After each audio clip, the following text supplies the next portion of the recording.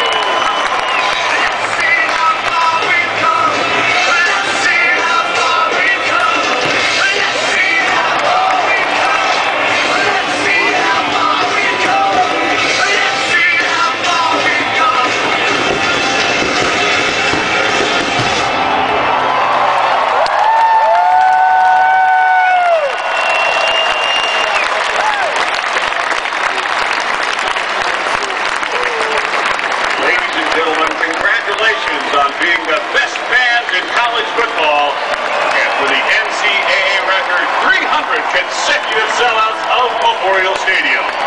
On behalf of the University of Nebraska, thank you for attending today's game, and please travel safely to your final destination.